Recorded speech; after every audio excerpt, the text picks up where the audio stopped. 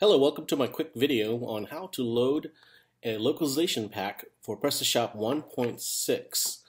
As you can see here, I have the uh, PrestaShop 1.6 administrator dashboard loaded up. You'll need to first log into that in order to get to the section that you can load the import pack. So here I'm going to show you where the menu is. On the left hand side, you click on localization And then you can see the localization area here. It says import a localization pack.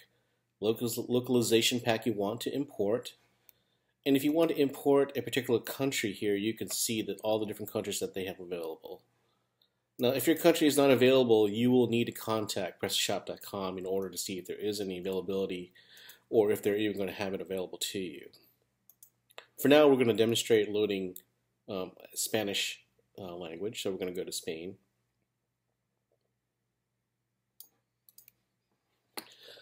And underneath Spain, you can see that there's options here. You can have it to import to the states, the taxes, the currencies, language, units. And there's also an option here which is change the behavior of the tax display for the groups. Now, by default, this option is not checked. And the other options makes um, sure that all these things are loaded when you select the localization pack that you want to load. So here you can see at the bottom it says download pack data.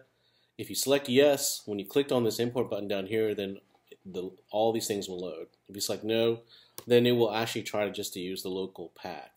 So basically you want to keep this on yes, click on import, and when it completes you'll see it says localization pack imported successfully, and that completes the tutorial. Thank you for listening to our tutorial on how to load or import a localization pack.